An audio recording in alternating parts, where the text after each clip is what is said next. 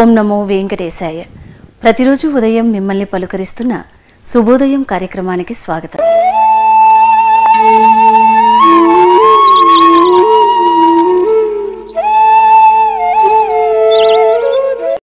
మన సనాతన ధర్మంలో ఎన్నో మంచి విషయాలను ఆనాడే మన ఋషులు మనకందించారు. వాటిలో కొన్ని విషయాలను ఈనాటి ఋషివాక్యం ద్వారా తెలుసుకుందాం. శ్రీ వెంకటేశాయ శ్రీనివాసాయ గోవిందాయ నమో నమ. నమో మహద్భ్యో ఋషిభ్యో గురుభ్యో నమ. భవతరణార్థే భక్తి భూమికా ముక్తి పొందడానికి ఉపయుక్తమైన ఉత్కృష్ట శ్రేణికి చెందిన భక్తి ఏ ఏ భూమికల్లో ఉంటుందో చెప్తున్నారు. ఇది ఒకదానితో ఒకటి ఒకదాని తర్వాత ఒకటి వృద్ధి చెందుతుంటాయి.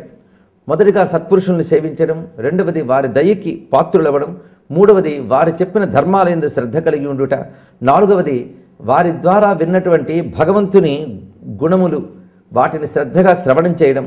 ఇక ఐదవది ఆ భగవంతుని యొక్క గుణములు వినగా ఆ స్వామిపై ప్రీతి ఏర్పడుట. ఆరవది ఆ భగవంతుని యొక్క స్వరూపాన్ని హృదయంలో మననం చేసుకునుట. ఇక ఏడవది ఆ ఆనంద స్వరూపుడైన భగవంతుని ఎందు ప్రేమ వృద్ధి చెందుట. ఎనిమిదవది ఆ ప్రేమ యొక్క స్వరూపం తెలిసి భక్తియే గొప్ప ప్రయోజనము అని తెలియట ఎనిమిదవ భూమిక. ఇక తొమ్మిదవ భూమిక భగవద్ధర్మ నిష్ఠాత. దీని గురించి చెప్పుకుంటూ ఉన్నాం. అంటే భగవద్ ధర్మములు అనగా భగవంతునికి ఉద్దేశించి చేసే ధర్మములు. అసలు ధర్మము ఎప్పుడు భగవంతుని ఉద్దేశించి చేయాలి? కొందరు అంటుంటారు నా భగవంతుని మీద భక్తి లేదు కానీ ధర్మం మాత్రం ఆచరిస్తానని.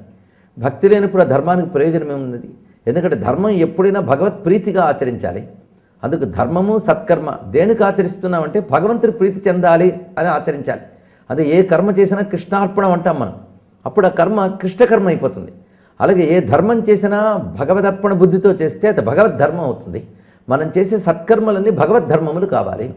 అందుకే మయి సర్వాణి కర్మాణి సన్యస్యాధ్యాత్మ చేతస నిరాశీ నిర్మమో భూత్వా యుద్ధస్వ విగతజ్వర అన్నాడు కృష్ణ పరమాత్మ గీతలో. సర్వకర్మలు ఆయన ఎందు న్యసించి అంటే ఆయనకు అర్పించి ఆచరించినట్లయితే అవి సత్కర్మలు అవుతాయి సద్ధర్మాలు అవుతాయి. కానీ సత్కర్మకి రెండు లక్షణాలు ఉంటాయి ఒకటి శాస్త్రము విధించిన మంచి పన్నే చేయడం సత్కర్మ. ఆ కర్మను భగవదర్పణ బుద్ధితో చేయడం రెండవ భూమిక. ఈ రెండు కలిస్తేనే దాని సత్కర్మ అనాలి. అలాంటి సత్కర్మలు భగవద్ధర్మములు అనిపించుకుంటాయి. ఆ భగవద్ధర్మముల్ని ఆచరించడం ఏదైతే ఉన్నదో అది నిత్యకృత్యం కావాలి. అదే భగవద్ధర్మ నిష్ఠాత అని తొమ్మిదవ భూమికగా చెప్పారు. ఇది చాలా ముఖ్యమైనది. ఎందుకంటే మానవుడైన వాడు ఏదో ఒక కర్మ చేయకుండా ఉండలేడు. అసలు ఏ కర్మ చేయకుండా ఉందామంటే బద్ధకం అవుతుంది సోమరితనం అవుతుంది. కనుక ఏ కర్మలు చేయాలి అంటే ఏ కర్మలు సత్ అనే లక్షణంతో కూడి ఉంటాయో ఏ కర్మలు అధర్మము లేకుండా ఉంటాయో ఏ కర్మలు న్యాయసమ్మతంగా ఉంటాయో ఆ కర్మలు మాత్రమే ఆచరించాలి. ఆ కర్మలను కూడా భగవదర్పణ బుద్ధితో చేయాలి. ఎప్పుడైతే కర్మ చేస్తున్నంతసేపు అది భగవదర్పణ బుద్ధితో చేస్తామో అప్పుడు మనకు భగవత్ స్పృహ ఉంటుంది. అందుకు వాటిని భగవద్ధర్మములు ఉంటారు ఇలా భగవద్ధర్మాలకు ఇప్పుడు రెండు నిర్వచనాలు మనం చెప్పుకున్నాం. భగవంతుని ఉద్దేశించి చేసే పూజ ధ్యానం కీర్తన ఇత్యాదులన్నీ భగవద్ ధర్మములే అలాగే క్షేత్రయాత్రలు తీర్థయాత్రలు వ్రతాలు ఇవన్నీ భగవద్ అనిపించుకుంటాయి భక్తులు ఇవి చాలా ప్రధానం. ఇవి పాటించడం వల్ల నిరంతరం భగవత్ స్మృతి మనలో ఉంటుంది. అందుకు పూజలు పునస్కారాలు వ్రతాలు కీర్తనలు చేస్తూ ఉంటే భగవంతుడు స్మృతి పథంలో ఉంటాడు. వాటిని భగవద్ ధర్మములు అనాలి అదేవిధంగా మానవుడు విద్యుక్తమైన కర్మని భగవత్ ప్రేరితంగా చేస్తున్నాను అనే భావంతోనూ భగవంతుడిచ్చిన శక్తితో చేస్తున్నాననే భావంతోనూ భగవంతుడికి అర్పించే బుద్ధితో చేస్తే అది భగవద్ధర్మం అనిపించుకుంటుంది. ఇలా రెండు విధాలుగా భగవద్ధర్మాన్ని నిర్వచనం చెప్పుకున్నాం. భక్తుడైన వాడు తొమ్మిదవ భూమికలో ఈ భగవద్ధర్మాల్ని నిష్ఠగా ఆచరిస్తూ ఉంటాడు. ఇక పదవది స్వస్మిన్ తద్గుణశాలిత. ఇది ఒక విశేషమైన అంశం. తన యందు ఆయన గుణములను ఆరోపించుకొనుట లేదా పొందుట అని చెప్పవచ్చు. తన యందు భగవద్గుణములు పొందుటంటే ఏమిటి తెలుసుకుందాం. భగవంతుడు కళ్యాణ గుణములు కలిగినవాడు. కళ్యాణం అంటే మంగళకరమైన గుణములు కలిగినవాడు. ఆ గుణములు వింటూనే మన స్వామిపై ప్రేమ పెంచుకున్నాం. ఆ గుణాలు మనం కూడా పొందు ప్రయత్నం చేయాలి అని ఇక్కడ చెప్తున్నారు. ఎందుకంటే ఎప్పుడు దేన్ని మనం ఆరాధిస్తామో ఆ లక్షణాలు మనకు వస్తాయి. ఇందులో సందేహం లేదు. మన చుట్టూ ఉన్న మిత్రులు మనం ఎక్కువ తలంచుకునే వాళ్ళు వాళ్ళ లక్షణాలు మనకు అనుకోకుండా వస్తాయి. అదే భగవంతుడిని తలుచుకున్నాం అనుకోండి భగవల్ లక్షణాలు కూడా మనకి వంటబడతాయి అందులో సందేహం లేదు. సూర్యుడి ముందు నిలబడితే వేడి వెలుగు రాకుండా ఉంటుందా? భగవంతుడిని చింతన చేస్తే భగవల్ లక్షణాలు అంటకుండా ఉంటాయా? తప్పకుండా అంటుతాయి. భగవల్ లక్షణములు అంటే సద్గుణములు. ఎందుకంటే భగవంతుడు నిజానికి నిర్గుణుడైన జగతిని అనుగ్రహించడం కోసం ఆయన అనంత కళ్యాణ గుణములు స్వీకరిస్తాడు. ఆయన గుణములన్నీ మంగళకరమైన గుణములే జ్ఞానముతో కూడినటువంటి గుణములే. ఆ గుణముల యొక్క ప్రయోజనం లోకక్షేమం లోకరక్షణ. అందుకే సత్యము అహింస శౌచము ఇలాంటి గుణములు భగవంతుని దగ్గర అనంతంగా అపారంగా ఉన్నాయని భాగవతం రామాయణం కూడా వర్ణించి చెప్తూ ఉంటాయి. కనుక నిరంతరం ఆ భగవంతుని యందు ప్రీతి కలిగి ఆయన ధర్మములే ఆచరిస్తూ ఉండగా మన యందు ఆ లక్షణాలు కనబడతాయి. అందుకే భక్తులను చూడగానే మనం సహజంగా దండం పెడతాం. ఎందుకంటే భక్తుని ఎందు భగవన్ లక్షణాలు కనబడుతుంటాయి ప్రహ్లాదుడు చూడగానే పెద్దల చిక్కుతారు కూడా నమస్కరింపబడేంత సద్గుణాలు ఉన్నవాడు అని భాగవతం వర్ణిస్తుంది. ఎందువల్ల వచ్చింది? అంటే భగవద్భక్తి వల్ల వచ్చింది.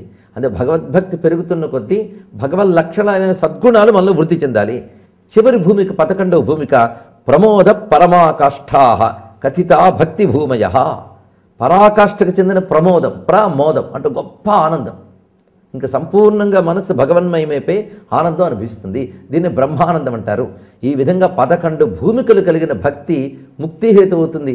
ఇలాంటి భక్తి పదకొండు భూమికలతో పట్టుకోవాలి. అంతేగాని ఒక భూమికి దాటగానే ఆ వెనక భూమికను వదిలేసి తర్వాత భూమికలోకి వెళ్ళడం కాదు. అన్ని భూమికలు కలుపుకుని పూర్ణ భక్తి అనిపించుకుంటుంది. అటువంటి పూర్ణ భక్తి స్వరూపానికి నమస్కరిస్తూ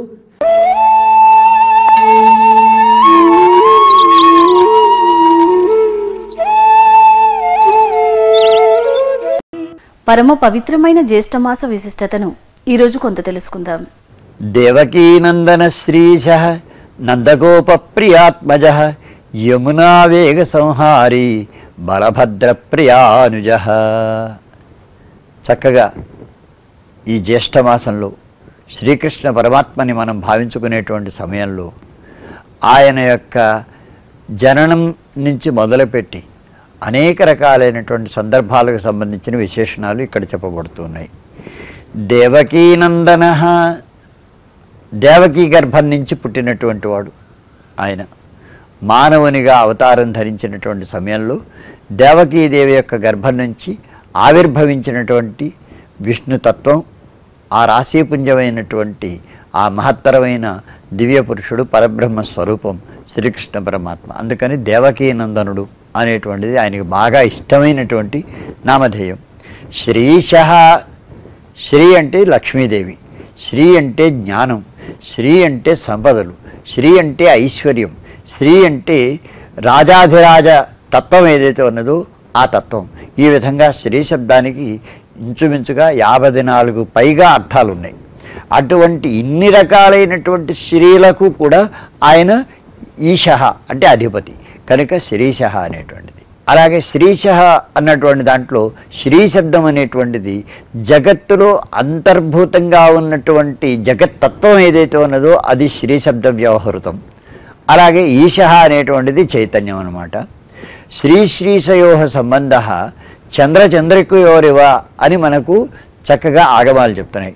అంటే ఈ శ్రీ అని వ్యవహరింపబడుతున్నటువంటి లక్ష్మీదేవి ఈశ అని వ్యవహరింపబడుతున్న విష్ణువు వీళ్ళిద్దరూ ఎటువంటి వాళ్ళంటే వీళ్ళ సంబంధం చంద్రిక అంటే వెన్నెల అమ్మవారు అలాగే విష్ణువు చంద్రుడు అంటే సాక్షాత్తు ఆ చంద్ర సంబంధమైన వెన్నెల ఏ విధంగా అయితే చంద్రుడి నుంచి వేరు చేయబడలేదో ఈ విష్ణువు నుంచి విష్ణుతత్వమైనటువంటి అమ్మవారు లక్ష్మీదేవిని కూడా మనం వేరు చేయలేమన్నమాట. కనుక అటువంటి వాడు కనుక శ్రీశహ అన్నారు. అలాగే మనకు నందగోప ప్రియాత్మజ అలాగే గోకులంలో గోవులను రక్షిస్తూ ఒక గోవును రక్షిస్తే అనంతకోటి దేవతలను రక్షించినట్లు. అదేవిధంగా ఎన్నో వేల గోవుల్ని కనుక రక్షించినట్లయితే అనంతకోటి బ్రహ్మాండాలనే రక్షించినట్లు అనేటువంటి విషయాన్ని లోకానికి చెప్పడం కోసమని ఆయన నందగోపుని ఇంట్లో ఆయన పెరిగారు. కనుక ఈ విధంగా నందగోప ప్రియాత్మజ అనేటువంటి నామధేయమానికి అలాగే ఆ పైన యమునా వేగ సంహారీ ఎంతో వేగంగా ఉద్ధృతితోటి ఆ రేపళ్ళను ఇతర పల్లెలను అన్నిటిని కూడా పరిప్లావితం చేస్తుంటే యమున ఆ యమునా నది యొక్క వేగాన్ని ఆయన నియంత్రించి ఎలా ప్రవహించాలి అని నది మీద కూడా తన యొక్క అధికారాన్ని చూపించి ప్రజలకు మేలు చేసినటువంటి ఆ మహనీయుడు ఆ బాలుడు అందుకని యమునా వేగ సంహారి బలభద్ర ప్రియానుజ అంతేకాకుండా బలభద్రుడు అంటే బలరాముడు అన్నమాట బలరామునికి కూడా తాను తమ్మునిగా అంటే సమస్త లోకాలకి కూడా అధినాయకుడు. కానీ ఒక అన్నగారికి తమ్ముడు. ఆ తమ్ముడిగా తన యొక్క వినయాన్ని ప్రదర్శించినటువంటి మహానుభావుడు శ్రీకృష్ణ పరమాత్మ. కనుక ఆ దివ్యమైనటువంటి నామాలతోటి మనం చక్కగా ఆ శ్రీకృష్ణ పరమాత్మని స్మరించినట్లయితే మనకు సర్వవిధములైనటువంటి సౌఖ్యాలు అనుకూరుతాయి ఈరోజు తిది వార నక్షత్రాలలో దాగి ఉన్న విశిష్టతను తెలుసుకుందాం.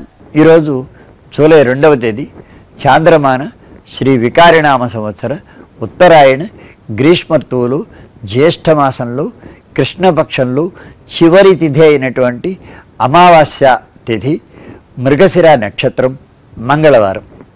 ఇక్కడ మనకు కొన్ని విశేషాలు ఉన్నాయి ఈ అమావాస్య తిథిని పురస్కరించుకుని పితృతర్పణం అనేటువంటి ఆ ఎంతో శ్రద్ధాత్మకమైనటువంటి విధిని మనం నిర్వహించుకోవచ్చు. ఇది ఒక విషయం.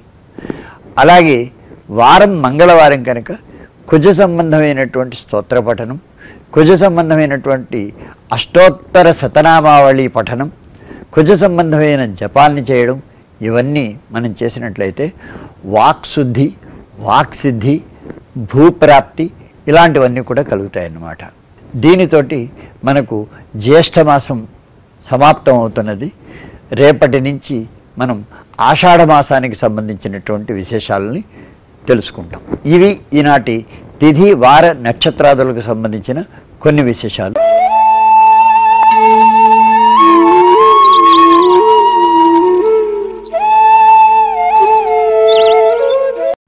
ఈనాటి శుభోదయం కార్యక్రమం అందరినీ అలరించిందని ఆశిస్తూ ఓం నమో వెంకటేశాయ.